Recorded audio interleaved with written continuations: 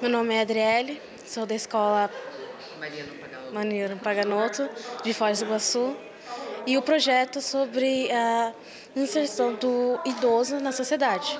Como ele deve ser bem mais respeitado, bem mais compreendido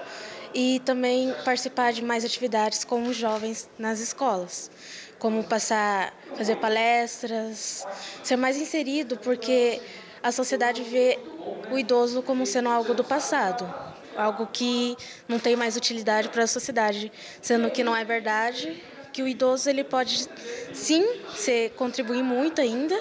com a experiência dele e também com palestras e atividades que ele pode ensinar para o jovem fazer.